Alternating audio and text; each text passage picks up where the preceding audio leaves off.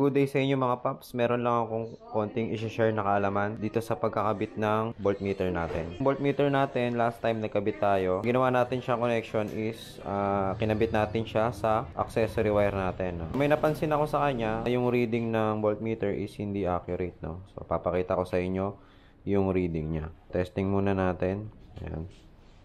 So ang reading niya ngayon is 11.8 to 12, 12 volts. So, testing natin siyang paanda rin.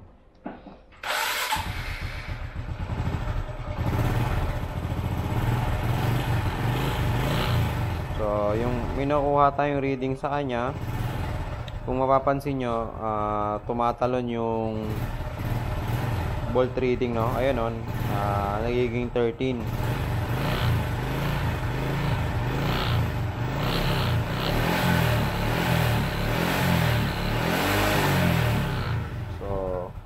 Yan yung reading ng voltmeter, no? Yung nakakabit dun sa uh, accessory wire natin. Yan. So, check natin yung actual niya reading niya using yung ano natin, ito yung tester, no? Yung multi-tester.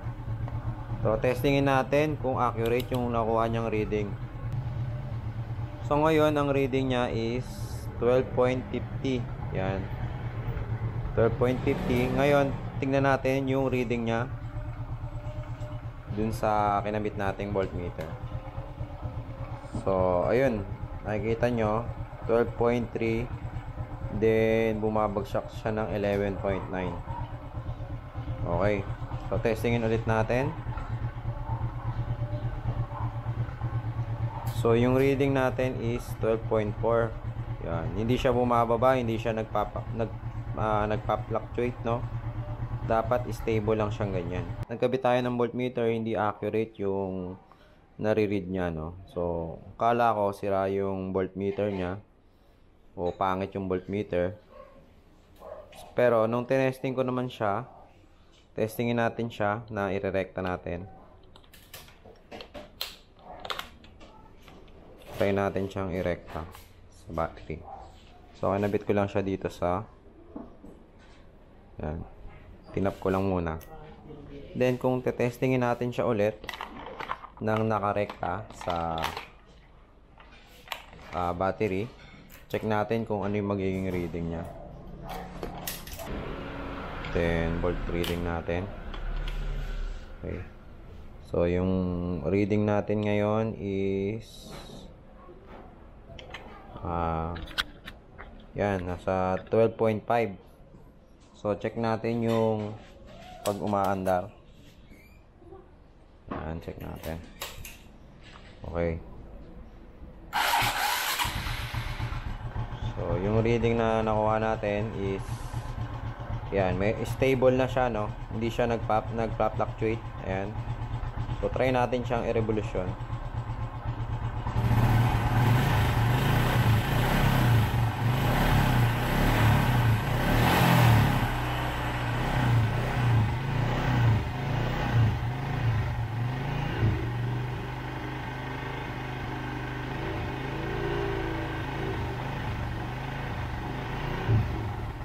So, ayan. So, napansin nyo, hindi siya nag, uh, nagpa-fluctuate, no? Uh, yung reading niya is, ayan, stable, no? Compared dun sa, nakatap dun sa, ano natin, so, sa accessory wire. Yan. So, ang gagawin natin dyan, i-rewire natin siya na para rekta sa battery, no? Paano natin gagawin yon? Uh, mag install tayo nito using yung relay. So, gagamit tayo ng relay para every time na nag-ignition tayo, dun lang siya bubuwas. So, ito meron tayong relay dito. Ang relay na gamit natin dito is 12 volts na 40 amperes. Then, uh, yan, nilagyan na natin siya ng wire. Nag-extend lang tayo ng wire. Yan, nilagyan natin siya ng ring terminal para sa battery. Then, uh, in-extend natin siya. Then, yung uh, mga wires na nilagay natin is sa uh, terminal 30 yan sa pin 30 then yung isa is uh, 85 yan. Then itong block is lalagay natin dito sa 86 yan. Then ito naman yung sa voltmeter natin. Ang connection natin dito is yung red is lalagay natin dito sa 87 then itong puti is lalagay natin dito sa 86 so ganyan so i ano muna natin to ihinangin natin para mas maganda yung connection. Ito nakabit na natin siya yung relay natin uh, itong voltmeter so ito ang connection natin dyan is ito yung sa red wire natin sa voltmeter yan, kinonect natin siya sa 87 then uh, yung white wire is kinonect natin sa 86 then itong uh, black wire is kinonect din natin siya sa ground then itong 30 yan yung papuntang battery natin then ito yung 87 natin, yan yung i-connect natin sa um, accessory wire natin or sa ignition key natin. Uh, ito, yung 85 natin. So, i-connect natin siya sa ignition natin. Yung kulay uh, pula na may black. Yan. Papuntang ano yan. Susian. Yun. So, pag nagsususi tayo, dun lang siya nagkakaroon ng power. So, babalatan lang natin yan. Hiniwa lang natin. Then, doon natin siya itatap.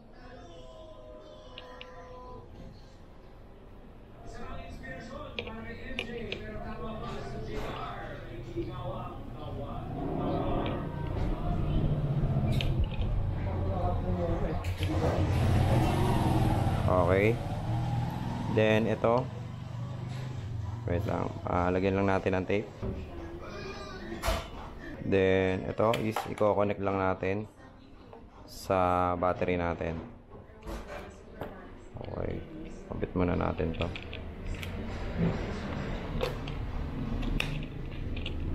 So, lagay natin sa battery.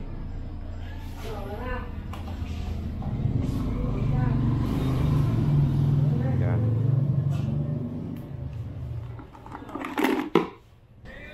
So, ayan.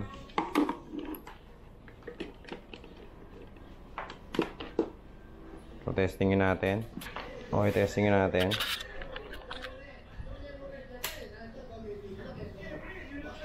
So, meron tayong reading. Try natin siya ipanda rin. So, yung unang napansin ko agad is stable yung kanyang volt reading and So, unlike unlike before is nag uh, flap fluctuate siya no o 11 yung reading niya. Yan. So, try natin i-revolution. Tignan natin kung uh, magpa-fluctuate yung kanyang volt.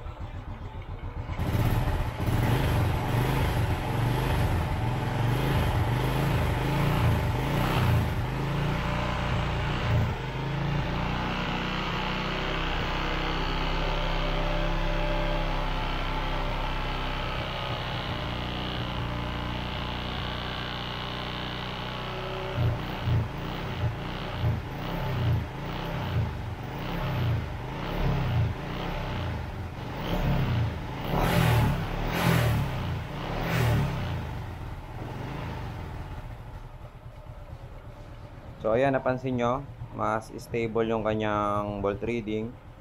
So kasi ang ginawa natin is naglagay tayo ng uh, relay no. So yung relay kasi parang switch lang naman siya, parang switch para mag-trigger yung or para magdikit yung wire. So yung wire natin is uh, ang ginawa natin is uh, naglagay tayo ng separate wire para maging parang rekta siya no. Rekta na sa battery yung reading niya. So ayan. Kaya mas stable na yung bolts niya. Yan, bolt reading niya. So, unlike before kasi, pag nilagay natin siya sa accessory wire, so, marami pa siyang dinadaanan or nag-aagawan sila. Kaya yung uh, reading niya is hindi siya ganun ka-accurate. Kasi yung pag nagkabit tayo sa accessory wire, so dadaan pa yan sa mga ilaw, sa mga switches, sa mga signal lights, sa horn.